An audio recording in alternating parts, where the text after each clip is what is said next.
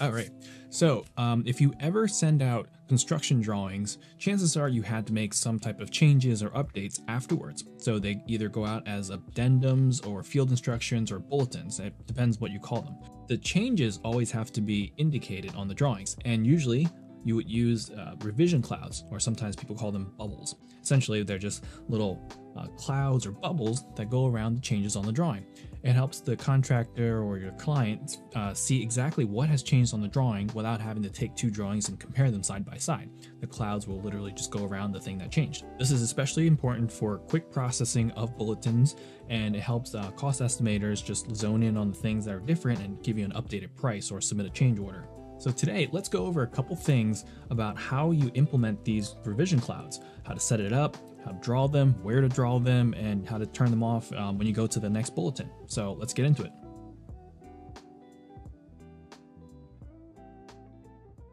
All right, so we're gonna jump right into the Revit sample project. Um, so they have a couple sheets set up, and uh, let's pretend like this went out for construction. So actually, I think, yeah, here it says construction issue on this date. So in order to add a bulletin revision cloud, you have to go up here to view and then go to revisions. So when you open this window, you can uh, list all your different issues that you send out. You, sometimes you would do like a 30, 60, 90%, and then your construction issue. Then after your construction issue, you have your bulletins. So for this one, I, we just have construction in here before. Um, we're going to click issue so that it locks this bulletin or it locks this um, revision out. So when you click this button and hit OK, essentially whatever was clouded or changed in that issue is um, locked out so you can't accidentally update it. Like you can't recloud something else. So it's always good to do. So click on issue for the stuff that already went out. And then if you're sending out a bulletin, let's pretend this is bulletin one. So we're going to, we're going to hit add then another one's going to pop up here. So you can change several things about this bulletin. Uh, you can switch to alphanumeric, alphanumeric if you want to use letters or numeric if you want to use uh, numbers. So we're going to stick with numbers and then you fill in the date. So today's date is the uh, 13th. So 13 and then you're going to hit January um, 2023 and we'll call this bulletin 1. So as we're working on it, we're not going to hit issue. We're going to leave it blank. Uh, issue two, you can put your client's, you know, um, eh, client's initial if you want to, and then issue by is usually is is usually the uh, engineer that's doing it. So I'll put my initials in there. Uh, for what to show, as you're issuing this current issue, you want to show the cloud and the tag. Sometimes, if you um, do multiple bulletins, uh, people like to keep the tag around. So like the little triangle that shows a number. So uh, if you are doing it now, you would hit cloud and tag. If you want it to remain behind, you can use tag. Uh, sometimes uh, companies like to have none, so we just do none and only cloud and tag the current issue. So right now we're going to leave it at cloud and tag, and then we're going to just check the other attributes on the right hand side. Numbering wise, you generally want to just go by sheet. Uh, so like the if you look over here under this title block, this numbering is going to go one, two, three, four, five by sheet. Uh, you can do by project, but then like if a sheet doesn't have a specific bulletin, it's just going to go like one, three, seven, nine, or something like that. Uh, there's benefits to both. Um, if you do by project, sometimes you you can just say a general statement is that um, the project's latest revision number is number 10. So if, if you don't see a number 10, don't use that drawing. So it, sometimes it's helpful that way, but I'm just used to doing it by sheet. So let's go by sheet, and then uh, if you customize number, you can do something special, like if you 1-1 or whatever. Um, here is the arc length. We can try out this arc length, and if the clouds are too big, like they're too bubbly, you can come into here and shrink that number down to make the arcs a little smaller. So we're just going to leave that is for now, but that's where you can change it. So let's hit OK. And then now you have your revision set up, you can start clouding things. So how do you go ahead and cloud? Um, you want to go up here to the annotate, and then over to the right, right here is revision cloud. So revision cloud, it gives you a good demonstration of what it is. Um, you see that if I hover over here, it says revision cloud, and then there's two letters next to it, RE.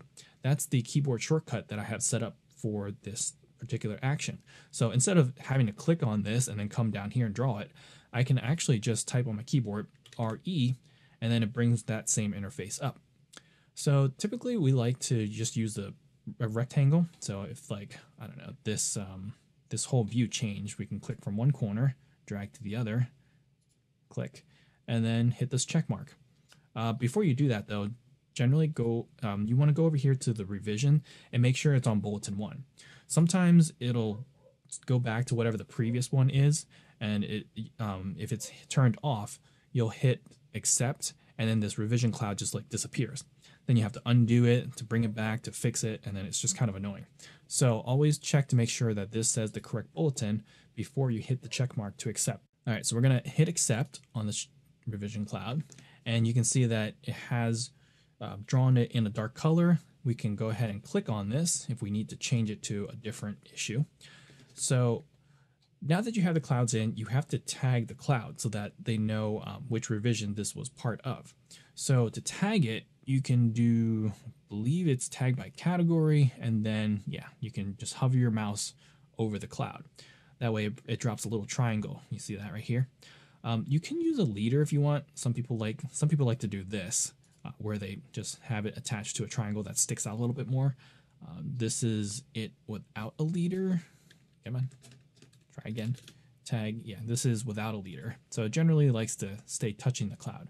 I have a preference of doing bottom right for any revision cloud. So whenever there's a cloud, I generally try to bias it towards the bottom right. But whatever it is, pick a consistent location so that whenever you see a cloud, you have a general idea of where to look for the triangle. Like don't just willy-nilly place it anywhere because it's kind of hard to see in the future when you're a couple clouds in. All right, so now that I drew this uh, cloud here, there's actually two places where you can actually draw them. So you can draw them in the model space, which is basically like drawing it on the floor plan or you can draw it on sheet or paper space.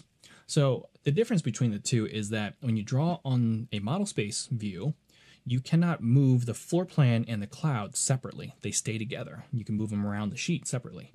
Um, but when you draw the revision cloud on the sheet, you can actually move the view separate from the revision cloud.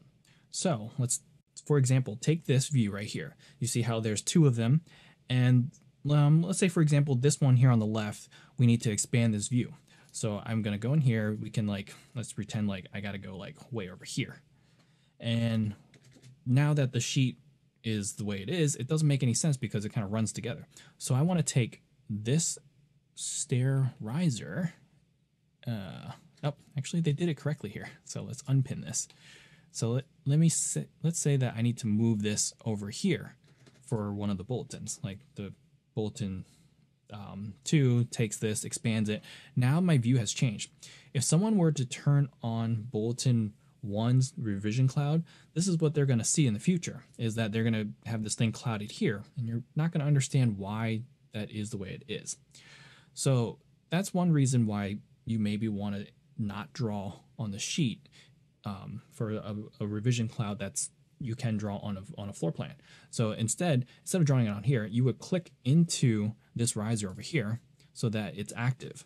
Then you can draw your re revision cloud. So draw it around there, hit OK, and then tag it. So now that it's inside of this view, here, let's, let's deactivate it. If I were to click and drag this around, you see how the cloud stays with it. Like it, it doesn't separate from each other.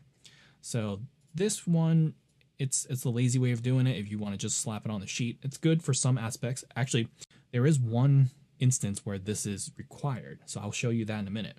But normally, I I don't like to do that. I like to draw it within the the uh, floor plan itself. So you put it in here, then you can drag this whole thing over here, maybe. Um, I don't know why this thing is so far out, but let's fix that a little bit. Uh, but anyways, you can reorganize your sheet without having to, oh, there we go. You can reorganize your sheet without the cloud getting lost in the process. So I'm to delete that. And there you go. There's your revision cloud drawn in model space that shows up on the sheet. So I'm just explaining to you the two different ways you can do it. You don't have to pick one or the other. Um, I've seen it done both ways. There's not really a right way or wrong way that I know of. There's pros and cons to each. So there is one instance where you have to draw the revision cloud on the sheet. And that's when you have a view that goes on multiple sheets. So let's take a legend, which you know that legends can go on multiple sheets. And uh, if you don't, you can check out this video here. Um, the legend, let's say we'll drag abbreviations to here. And then we're going to go to this unnamed view, take this, oh, didn't mean to open it. Take this abbreviation and drag it here. So now that it's on two sheets, if I were to do the same thing, go into the view and draw revision cloud around, let's say the word abbreviation, um, that's bulletin one, hit OK. And if I were to try to tag that, you see that the triangle is blank. That's because the triangle is trying to pull the current revision that's on this particular sheet that the view is showing on. But because a legend can be on multiple sheets that have multiple different review numbers or revision numbers, um, it doesn't know what to populate it with. So this is one of those instances where if you make a change like this, you actually have to cloud it in sheet view. So let's deactivate this, delete that, deactivate, and then yeah, once I deactivate it, I should be in uh, sheet view. So now I can draw the revision cloud like this, and it's taggable. So let's go back to the front. This one, same thing, revision, and I can tag it. So that is now separate from that. You see I can move the legend and the revision cloud stays behind. So one of the fixes that I like to do is to click on the legend and pin that in place. All right, and that's how you set up and draw revision clouds on your drawings. So you would package this up, um, send it out to your client, and hopefully that's it. But if you need to come back and make another change, another bulletin needs to go out, you want to turn off the previous bulletin clouds and or tags so that you can put in the clouds for the new bulletin. So on your next go around, just go up here to um, your view view window and then under revision, um, let's pretend like we got bulletin 2 coming in. So we'll click on 2, we'll hit add. So this is now your bulletin 2. And then under bulletin 1, instead of cloud and tag, you can choose to say tag or none. So I generally use none. So if I hit OK, you can see that it clears out the revision cloud. So it's still there, but you just can't see it. It's turned off. Um, if you ever need to bring it back for some reason, you just go up to the revision window here, click on um, cloud and tag again, and there you go, it comes back. All right, so that's the revision cloud bubble in a nutshell. If you have further questions, let us know in the comments below. If you want to hang out on Discord or support me on Patreon, you can find those links down below as well. As always, thank you for watching. I'll see you guys next time. Bye.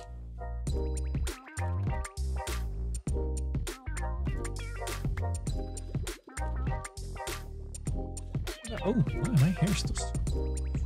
My, my hair's sticking out. Uh, well, there's no going back now.